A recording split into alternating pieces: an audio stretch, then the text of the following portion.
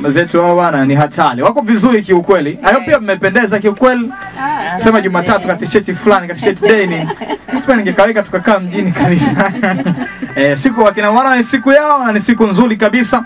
I hope sisi tuko vizuri kabisa na siku ya leo tutazungumza mambo mengi sana. Jana ilikuwa ni siku ya mama duniani? Yes.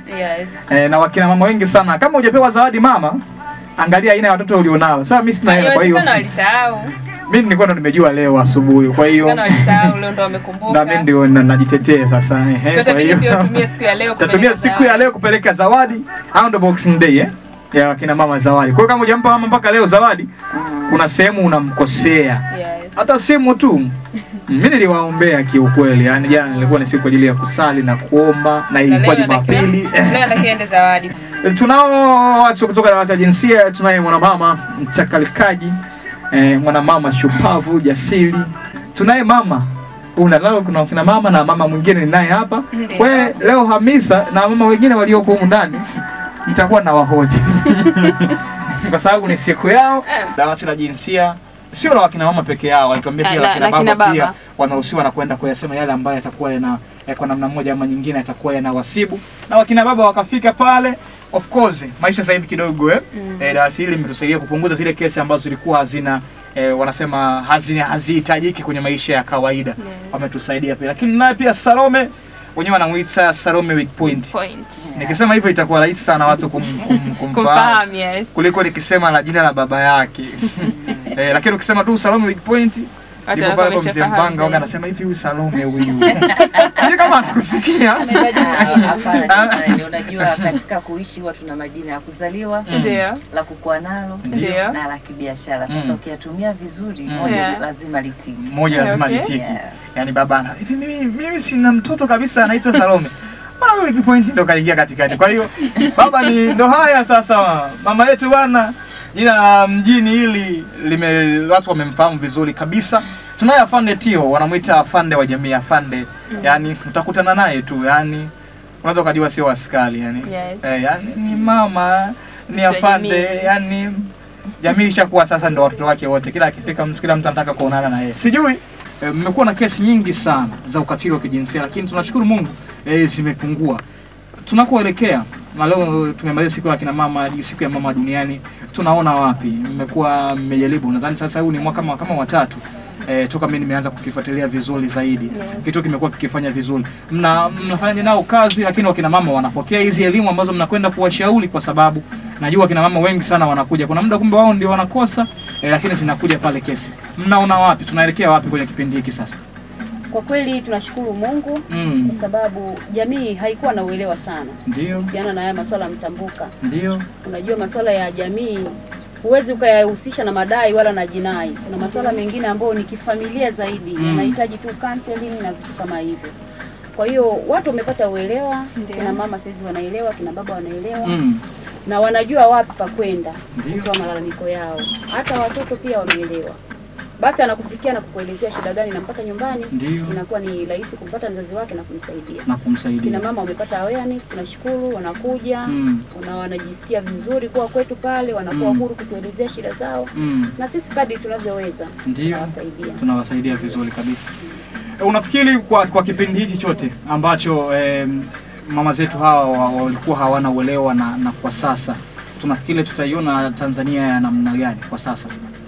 Haki ya mwanamke, haki ya mama ilikuwa ni ngumu sana kuipata, kwa sababu jamii yote ilikuwa bado imebebwa na mfumo duni. Mm, ila kadri tunavyokwenda naona sasa jamii inafunguka, sio kina mama peke yao tu wanaodai haki za kina mama Mm. ila kina baba pia wanasimama kudai haki za kina mama pale Okay. wanapoona mama anafanyiwa vitu ambavyo sio sawa, unakuta kina baba ndo wanasimama kumtetea, Sio mama tena. sio kina mama tena Ndio.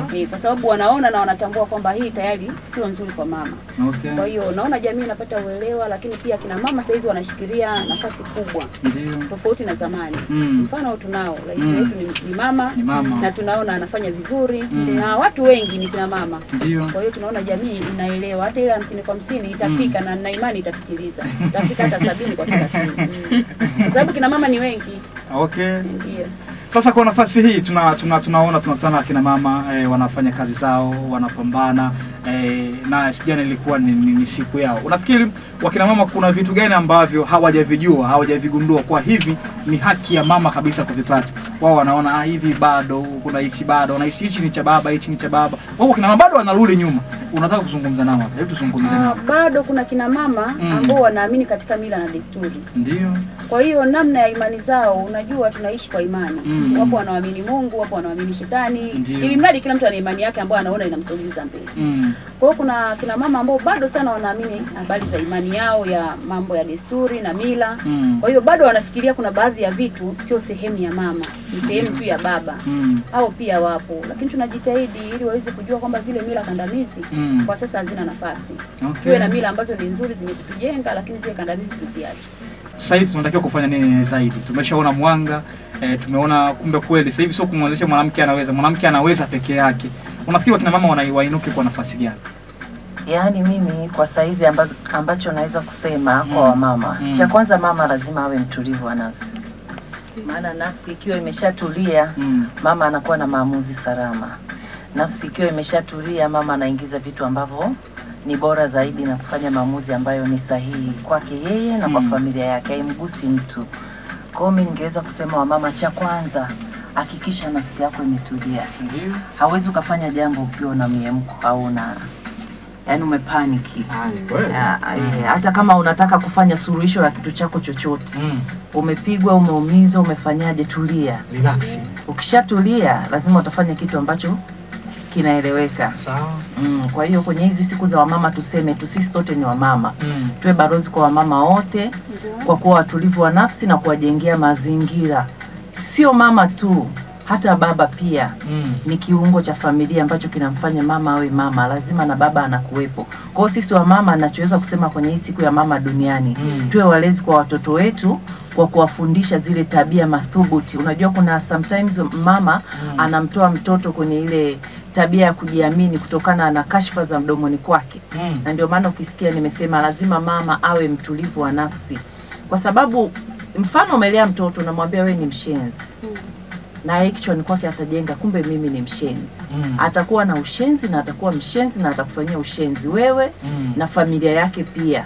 Na ndio maana tumesema mama akiwa mtulivu wa nafsi, hata mtoto anapofanya kosa utajua jinsi gani ya kumwadhibu. Utakaa naye, utazungumza hapa na hapa, hatuendi hivi, unakoenda sio sahihi. Kwa hiyo Mm. ukimjengea kile kitu kwa utulivu na kumwambia, tayari yeye anaanza kujijenga na ile confidence yake anakuwa nayo. Kwa hiyo tunatengeneza mazingira ya kutengeneza hawa mama kuanzia huku chini.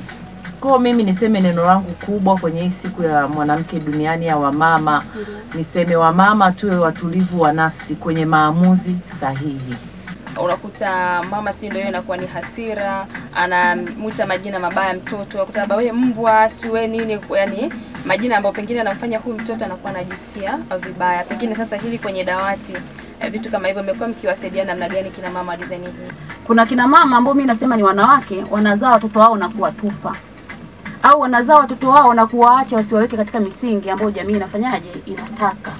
Hapa tumchukulie mama ambaye tunaamini kwamba ni mlezi, tunaamini mama ni daktari, tunaamini mama anaweza akajitoa kwa lolote kwa ajili ya watoto wake waweze kuishi, waweze kuwa na mazingira mazuri, waweze kupata elimu, hawa watoto waweze kuwa watu wazuri katika jamii, kwa sababu tunaamini kwamba funzo la kwanza, ile saba ya kwanza ina, ni maelekezo ya familia. Yaani mtoto anapoanza siku sifuri hadi miaka saba ni maelekezo ya kwanza ya nini? Ya, Ya familia. familia. Hmm. Lakini hata ile saba ya pili ina maana kwamba miaka nane mpaka kumi na nne bado mtoto anakuwa muda mwingi yuko katika nini? Katika familia. Baada ya pale sasa mtoto ndo anakuwa kwenye jamii. Japokuwa siku hizi watu wanapeleka boarding watoto bado wadogo, lakini katika malezi saikolojia ile saba ya kwanza ni ya mama na ni ya baba, ni ya familia. Umeona? Kwa hiyo kuna wale kina mama ambao sasa inafikia mahali wanashindwa kujua kama wao ni mama. Yaani mwanamke ambaye sasa hawezi tena akapata uchungu na mtoto wake. Mwanamke anayeweza kumwacha mtoto wake ndani usiku afu yeye akaenda kwenye mambo yake mengine ambayo hata sio kazi. Au akamnyesha mtoto dawa za usingizi alale ili yeye aende disco. Sasa yule hatuwezi tukamweka kwenye temzi ya mama. Hata unavyoona jamii, unavyoona dunia inasimama, jana status ilikuwa mama mama mama. Hawa Mm. Hawa watu wana sababu ya kusema mama zao ni mama. Wanaangalia nyuma background. Mama kafanya nini kwa ajili yangu? anapofikiria yale anajua mama kajitoa namna gani kwa ajili yangu. kwa sababu kina mama kuna vitu wanajizuilia kwa sababu ya watoto wao. Kuna vitu anatamani kufanya lakini hafanyi tu kwa sababu hataki mtoto wake aone. Umeona? Kwa hiyo hawa kina mama sasa ndio kina mama tunaoongelea leo na tunajitahidi pale dawati kwa sababu kuna kina mama kweli wanakuja pale, ukimwangalia namna anavyoishi na mtoto wake, unamwambia mama, hapana. Unashindwa kujua hivi huyu mama aliumwa uchungu kweli au huyu mtoto yeye alipewa tu baada ya kujifungua, yani alipewa tu yani Kama eh, zawadi. kama zawadi. Maana sisi ambao tumeumia uchungu, huwezi ukamwacha mtoto wako akaenda tu hivi, unaona. Mama anapata mgogoro wa familia na mume wake, mama anaamua kuondoka, anaacha mtoto na wakati mwingine anaacha mtoto ana miaka hata miwili. Unajifikiria kwa akili za kawaida, hii inaleta sensi kweli? Maana tunaamini. wanawakomoa wanaume. Eh, ukishaona mtu anafanya hivyo, basi huyo ni mwanamke, sio mama, kwa sababu mama yeyote yule atafaiti kwa ajili ya watoto wake. Kuna kina mama wanakwenda mpaka mahakamani ili tu wapewe haki ya kulea watoto wao, na mtoto jamani, ile saba ya kwanza ni ya mama, na ndio maana hata sheria bado inataka mtoto saba ya kwanza akae kwa nani? Akae kwa mama, maana mama ndo ana uchungu na mtoto kuliko mtu mwingine yeyote. Kwa hiyo hata jana mlivyoona tunaposti kina mama kina mama, vipo vitu vilivyotusukuma kuposti, vipo Kwa vitu vilivyotushawishi kuposti. Mama yako nafikiri kama angekuzaa tu akakutelekeza siku ya jana ingekuumiza sana, ungesema mimi ningepata mama. Umeona? Eh. amekuzaa lakini unatamani ungepata mama ambaye unaweza na wewe ukatamani kumposti kama watu wengine wanaofanya na vitu kama hivyo. Tunajitahidi kuwashauri kina mama, kuwaelekeza ni namna gani wanaweza kutunza watoto wao, hata kama una mazingira magumu kiasi gani. Hayo mazingira yaambatane na mtoto wako. Ni bora mlale njaa wote, lakini unaye Unaye mtoto. kuliko ukalala njaa huku ujui yeye yuko wapi. Unaona, huyo sio mama Huyo sio mama. kabisa. Kina mama daima wako radhi wasinunue hata kipande cha kanga mwaka mzima, lakini mtoto apate daftari aende shule. Hawa ndio kina mama International Day inayowazungumzia Kumbe kuna tofauti ya mwanamke na mama. kabisa. Sasa leo tunazungumzia mama. Eh, na hapa sasa kama wewe ni dada unabidi ujifunze kwa sababu unaenda kuwa mama. Mm. Eh, ah, dada yetu wa siku hizi bwana ni wakina mama lakini kumbe kumbe sasa hapa nimegundua mtoto naye ana haki. Kuna wakina mama toka asubuhi mpaka jioni mtoto ana miezi mitatu lakini mpaka anarudi kulala. Eh. Kuna kitu kingine afande Tiho, kuna baadhi sema kina dada sinao tunaweka kwenye fungu gani? Mm. Si ndo kina mama si ndo atakuwa wanawake. Kuna hiki kasumba kwamba labda mimi sasa niko mjini Mm. na, na na tuseme labda nimebahatika kupata mtoto. Nabeba mtoto wangu napeleka kwa mama kijijini. Naenda kwa bibi yake. Napeleka kwa bibi yake. Akalelewe Yaani yeye yani kwamba mimi nakuwa kazi yangu unazaa Mm. halafu Alafu nabeba napeleka kwa bibi. akalelewe kule kijijini halafu mimi naendelea na maisha huko mjini na kukula bata. Hii Ah, unajua kuna wakati mwingine unakuta labda mtu anafanya kazi fulani, labda ni nesi, ni askari, ni mwalimu au nini, anaishi labda na mtoto mpaka ile miaka mitatu minne, yani namna ya kupata msichana wa kazi wa kumsaidia nyumbani inashindikana. Na kuna wakati mwingine hao wasichana wa kazi pia na wenyewe wana akili zao wanazijua wenyewe. Anaweza akalala tu akaamka akasema mimi leo mama naondoka.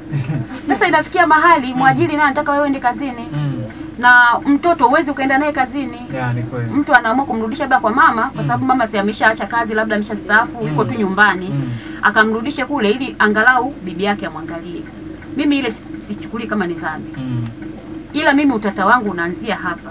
Unapomchukua mtoto ukampeleka kwa bibi afu kasahau changamoto kubwa saizi iliyopo ndio hiyo.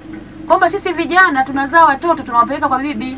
Kumpeleka kwa bibi sio shida. Mm. lakini ukitega mgongo umetega mgongo kwa kila kitu mimi sisikilii kama unaweza wewe ukawa ni mama Mm. ambaye huku mjini unakula supu asubuhi unakula chakula kizuri mchana kama anavyokulaga Frank huyo.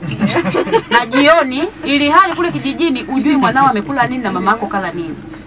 Kwa sababu hao kina mama wametulea sisi wakiwa Mm. bado wana nguvu. Kabisa. leo nguvu zao zimekwisha. Wewe badala yake unamchukulia tena mtoto mdogo unampelekea na unamsahau. Hiyo ni mbaya sana. Na kwa hiyo mimi ninawaambia kina mama wenzangu wale ambao wamechukua watoto wakawarudisha kwa bibi zao sio dhambi ila cha msingi kwa kuwa wewe labda huyu msichana wa kazi unashindwa kummonita kutokana na kwamba uko busy na kazi Mm. tafuta msichana wa kazi muweke pale nyumbani kwa mama yako.